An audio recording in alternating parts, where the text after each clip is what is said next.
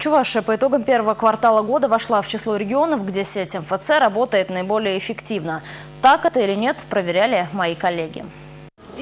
Теперь за правами не нужно идти в ГИБДД. В многофункциональных центрах принимают заявления на замену или выдачу международных водительских удостоверений. Жители Чуваши уже начали пользоваться этой услугой, причем не только в столице. МФЦ в Маргаушах также работает по этому профилю, причем успешно. Практически все услуги сейчас востребованы. Ну, во-первых, это, конечно, федеральные услуги, а, регистрация права на недвижимость, кадастровый учет, а, услуги МВД очень активно идут, а, пенсионного фонда.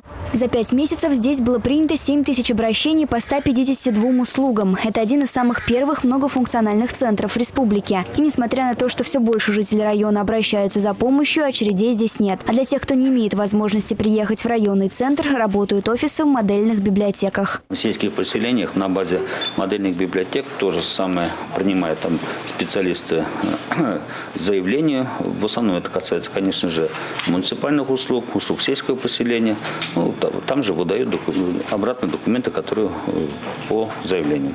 Чувашии 94% населения могут получить государственные и муниципальные услуги в одном окне. Например, в Чебоксарах работают два крупных многофункциональных центра. Кроме них есть еще несколько офисов. Их работу оценивают в первую очередь жители города. Мне нравится график работы с 8 до 8. Если идти ведомство, там график работы такой скользящий. В ФМС, например, там все дни рабочие или первая, вторая смена. Многофункциональные центры позволяют избежать походов по различным ведомствам. Позже работать будут по модели жизненной ситуации, когда все необходимые госуслуги можно будет оформить одним заявлением. А уже сейчас в правительстве принято решение развивать экстерриториальный принцип работы центров. Сегодня, конечно, это начальной стадии.